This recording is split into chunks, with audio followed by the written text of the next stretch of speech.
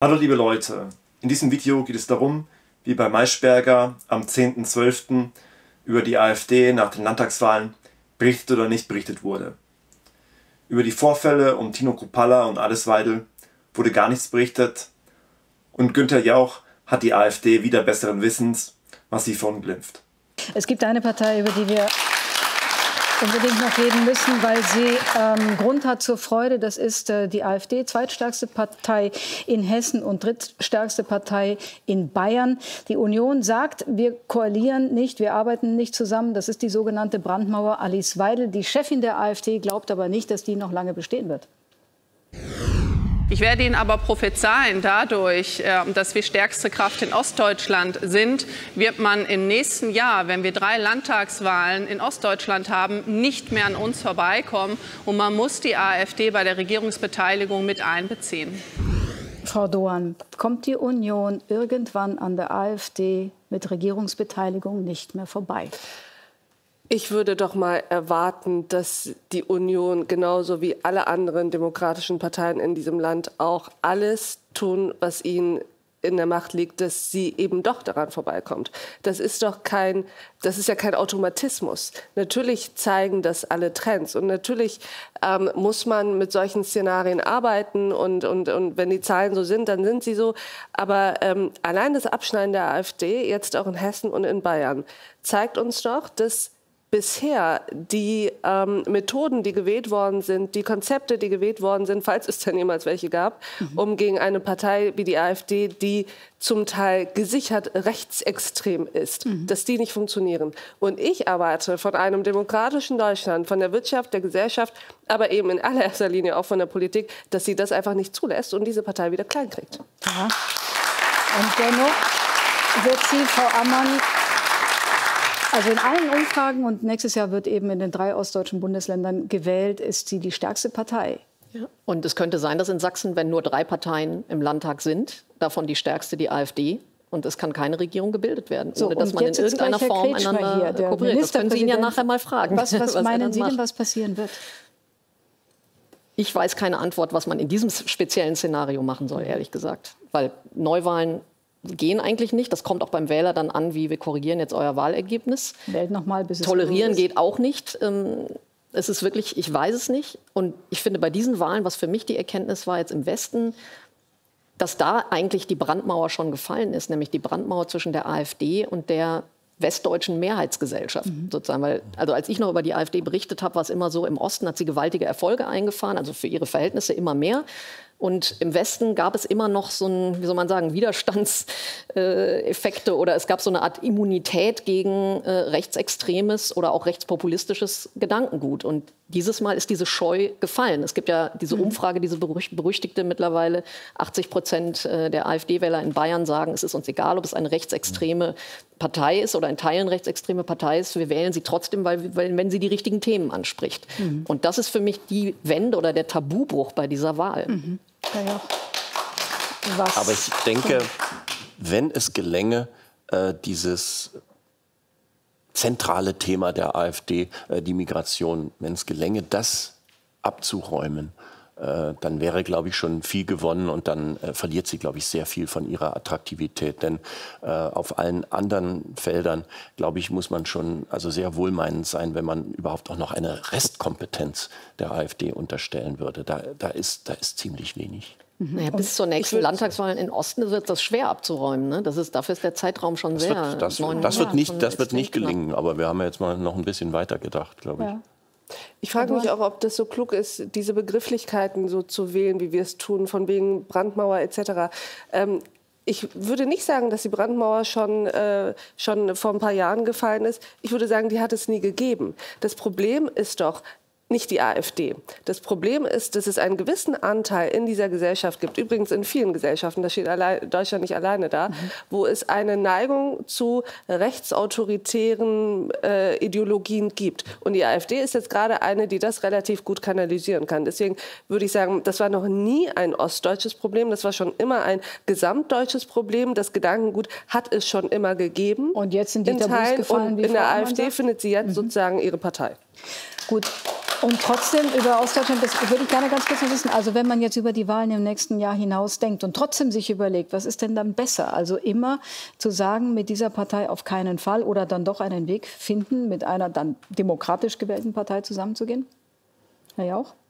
Ich denke, das Konzept müsste immer aus dem Positiven herauskommen. Entschuldigung, ja. jetzt habe ich mich hier. Ja. Aber das ist mir wirklich ein total wichtiges Anliegen, zu sagen, ähm, ist, dieses sich Argumente oder Konzepte gegen die zu überlegen, muss ja scheitern, sondern man mhm. muss den Wählern ein Angebot machen, das sie überzeugt. Also, äh, dass die den Eindruck haben, okay, es lohnt sich, äh, es lohnt sich, die anderen Parteien zu wählen. Sonst, sonst, ist, man, äh, sonst ist man gescheitert. Weil es gibt ja auch diese Umfrage, dass die AfD jetzt viel mehr AfD-Anhänger auch tatsächlich an die Problemlösungskompetenz so. dieser Partei ja. glauben. Sie hatten es kurz erwähnt. Das war früher immer so, dass die Leute AfD gewählt haben oder die aus Wahlanalysen Protest. sagen, aus Protest. Und egal, ob die nichts wollen, einfach nur das Signal setzen. Und jetzt denken sie, die können die Probleme lösen oder denken mehr Leute. Und, und das ist, glaube ich, das Problem. Sie denken natürlich, wenn die in Anführungsstrichen etablierten äh, äh Parteien äh, nicht mal ansatzweise in der Lage sind, meine Probleme zu lösen, äh, dann ist mir jeder andere erstmal recht, dann soll der es doch äh, ja, einfach ja. mal äh, probieren. Und deswegen denke ich, wenn wenn, wenn vor allen Dingen das Thema äh, Migration von den etablierten Parteien in den, in den Griff zu bekommen wäre, und das muss doch meiner Ansicht nach äh, gelingen. Es gelingt ja anderen Demokratien um uns herum, auch ohne dass man sagte, da wird also menschenverachtend äh, operiert, mhm. dann, dann, dann denke ich, dass äh, dass man der AfD schon ein, äh, einiges an Boden entzieht. Ich nehme das. Erst nach 15 Minuten ging es überhaupt um die AfD. Also eine Viertelstunde hat man über die Landtagswahlen geredet, über die Aussichten und es ging nur um CDU, CSU, um die Ampel und so weiter und so fort. Eine Viertelstunde. Erreicht wird damit, dass die AfD den Leuten nicht so wichtig vorkommt und dass sie sich weniger dafür interessieren. Also dass sie weniger im Internet nach Originaltönen suchen. Es ging dann sechs Minuten um die AfD und über die Vorfälle von Tino Kupala und Alice Weidel ging es überhaupt nicht. Es gab auf Tino Kupala einen Anschlag, das war von Anfang an klar. Es gab einen Blutfleck und es gab eine Einstichwunde. Also die Polizei hat sofort die Kleidung konfisziert. Die Polizei wusste, dass es einen Blutfleck gab. Und über die Medien wurde aber nur kommuniziert, dass im Blut nichts gefunden wurde. Und hierbei ist natürlich vollkommen klar, dass man sich hier die Bälle hin und her spielt. Dass sozusagen den Medien eine Ausrede geschaffen wird, nicht darüber zu berichten, weil die Polizei ja es nicht weitergegeben hat mit dem Blutfleck. Und der Blutfleck ist ganz entscheidend, weil damit würde jedes Alibi fallen, das Thema nicht stärker zu behandeln. So aber wurde auf Zeit gespielt, es vergingen einige Tage und jetzt wird mit Israel völlig davon abgelenkt, was hier passiert ist. Es wurde dann ein Ausschnitt mit Alice Weidel gezeigt, in der sie gesagt hat, die Brandmauer würde fallen. Und aus meiner Sicht ist es kein Zufall, dass genau dieser Ausschnitt ausgewählt wurde, weil er aus Mediensicht einige Vorteile bietet wenn die AfD mit der CDU koalieren will, was ja alles Weil hier zum, zum Ausdruck gebracht hat, dann wird der CDU Berechtigung eingeräumt. Und aus meiner Sicht, das ist zu einem gewissen Grad Täuschung der Öffentlichkeit. Weil die CDU unter Friedrich Merz, sie setzt konsequent US-Geostrategie um. Und damit ist sie eigentlich nicht kompatibel für eine Koalition mit der AfD. Aus meiner Sicht, die AfD sollte auf Sieg setzen.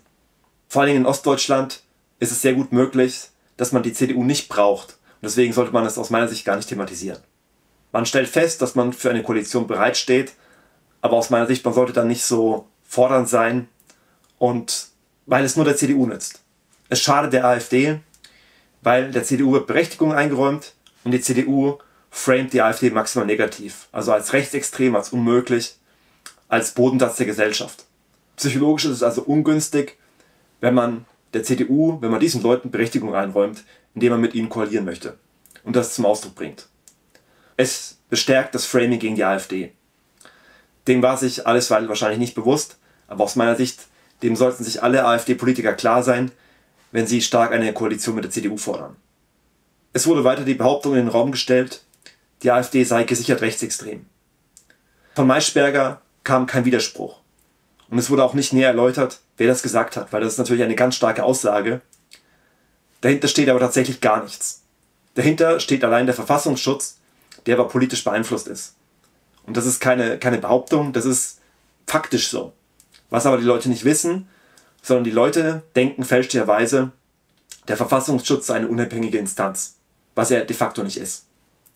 Das wird aber suggeriert. Der thüringische Verfassungsschutzpräsident Kramer ist nicht mal Jurist und wurde von der Linken, wurde von Ramelow eingesetzt. Das heißt, das Personal im Verfassungsschutz ist politisch abhängig. Auf das Urteil kann man überhaupt nichts geben. Aber das verstehen die Leute nicht. Die Begründungen bestehen darin, zu versuchen, den Leuten das Wort im Mund umzudrehen. Mehr ist da nicht dahinter. Es ist rein konstruiert und soll nur die Leute abschrecken, in die AfD einzutreten und auch sie zu wählen und sich mit ihr auseinanderzusetzen. Die öffentlich-rechtlichen verfehlen ihren Auftrag, indem sie den Hintergrund des Verfassungsschutzes hier nicht klarstellen, sondern die Suggestion unterstützen, die AfD sei gesichert rechtsextrem, das sei sozusagen ein juristischer Befund. Das sei unzweifelhaft. Zuletzt kommt nun Günter Jauch. Und aus meiner Sicht, das ist wirklich entsetzlich. Und man fragt sich, was das für ein Mensch ist. Also Günter Jauch hat es materiell ganz sicher nicht nötig. Und sehr wahrscheinlich wird er gut bezahlt, aber trotzdem hat er es materiell nicht nötig, sowas zu machen. Und er, er hat hohe Glaubwürdigkeit, weil er ist beliebt in der Bevölkerung, er hat diese Quizshow Wer wird Millionär geleitet, aber auch ganz viele andere Shows. Er ist in der Bevölkerung sehr beliebt und sehr bekannt. Und wenn er sagt, die AfD, sie hätte nichts zu bieten, die Leute glauben das. Und es ist aber vollkommen offensichtlich, dass Günther ja auch lügt. Weil die AfD hat ein ausgefallenes Parteiprogramm, womit, die, womit sie auch im Wahlkampf 2021 nicht dran zu kriegen waren. Die öffentlich-rechtlichen, sie haben alles versucht, es hat nicht geklappt. Und vor allen Dingen hat die AfD jüngst auch ein 10-Punkte-Sofortprogramm veröffentlicht, wo sie ganz klar gezeigt hat, was sie machen will, wenn sie jetzt an der Regierung wäre.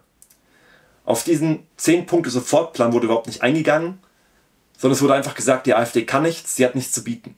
Und das wurde dann als feststehend so abgehakt. Und hier zeigt sich aus meiner Sicht wieder, dass kein Weg daran vorbeiführt, gegen die Medien zu kämpfen. Also wirklich zu versuchen, dass man nicht versucht, mit in dieses System reinzukommen, dieses System in Anführungszeichen, um mit den Medien irgendwie klarzukommen, sondern es hilft nichts anderes, als zu versuchen, die Leute davon wegzubekommen. Also keine Kooperation, nicht versuchen, irgendwelche Kompromisse einzugehen, versuchen, auf irgendwas zu verzichten, zu sagen, um dann vielleicht in die Show eingeladen zu werden und so weiter, weil der Preis ist zu hoch.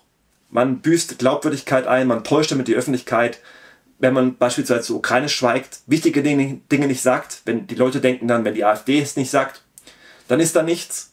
Bei allen wichtigen Themen. Und ja, das ist eine Katastrophe. War auch schon in der Vergangenheit katastrophal. Es hat der AfD nichts gebracht. Also das hätte, die Öffentlich-Rechtlichen hatten ja zum Teil keine Wahl, sie einzuladen, um die Täuschung aufrechtzuerhalten. Das heißt, die Öffentlich-Rechtlichen werden die AfD zu wenigen Anlässen weiterhin einladen. Damit die Leute das Gefühl haben, es ist alles in Ordnung. Das müssen sie tun. Da sind aber die Medien in der Zwangshaltung, in, in der Zwangslage. Das ist keine, kein Zugehen auf die AfD. Sondern bei der Berichterstattung oder auch um Interviews, wenn es um Interviews mit der AfD geht, dann dient das nur dazu, der Bevölkerung zu suggerieren, es ist alles in Ordnung, wir haben eine funktionierende Demokratie, die AfD kommt auch zu Wort, jetzt hier hört ihr die AfD, jetzt wisst ihr über die AfD Bescheid. Jetzt müsst ihr euch nicht mehr, müsst ihr euch nicht mehr dafür interessieren, müsst ihr nicht nach O-Tönen suchen. Es ist ganz wichtig zu verstehen, dass Medienauftritte in öffentlich-rechtlichen auch sättigen.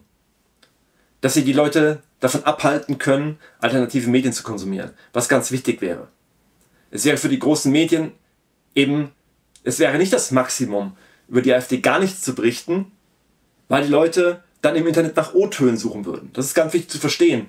Die Medien machen jetzt keinen Kompromiss. Sie gehen nicht auf die AfD zu, sondern sie versuchen trickreich die AfD maximal zu bekämpfen. Und so Interviews und ein scheinbares auf die AfD zugehen, man macht mal ein Interview, das dient nur dazu, die Leute davon abzuhalten, ins Internet, ins Internet zu gehen, selbstständig. Und auf irgendwelche Weise, also wie sie es bei Günther Jauch geschafft haben, oder es fragt sich auch, was, was Günther Jauch für ein Mensch ist, werden sie es effektiv schaffen, die AfD negativ zu framen. Weil jeder, der Günther Jauch kennt und die AfD nicht kennt, der wird erstmal Günther Jauch glauben. Und wird sich denken, ja gut, wenn es der Günther Jauch sagt, der hat ja keinen Grund zu täuschen. Der ist auch nicht käuflich, der ist, der hat was weiß ich wie viel Geld. Der, der kann das ja freiwillig sagen. Also ich verstehe es auch nicht, warum Günther Jauch das macht. Aber es ist auch egal, weil wir wissen, es stimmt nicht. Wir kennen das 10-Punkte-Sofortprogramm, wir kennen das Programm der AfD, wir wissen, dass Günther ja auch lügt. Aber das wissen die normalen Leute nicht. Und solche Kronzeugen, in Anführungszeichen, es wird den Medien immer wieder gelingen, solche Leute aufzurufen. Weshalb sich umso mehr die Dringlichkeit zeigt, die Leute unbedingt weg von den großen Medien zu bringen. Und man alles dafür tun muss, die Leute davon wegzubringen. Die AfD kann niemals groß werden, niemals, wenn die Leute die großen Medien konsumieren. Das ist vollkommen ausgeschlossen. Ihr könnt ja schreiben, was ihr denkt, was ich vergessen habe, was euch sonst einfällt. Macht's gut.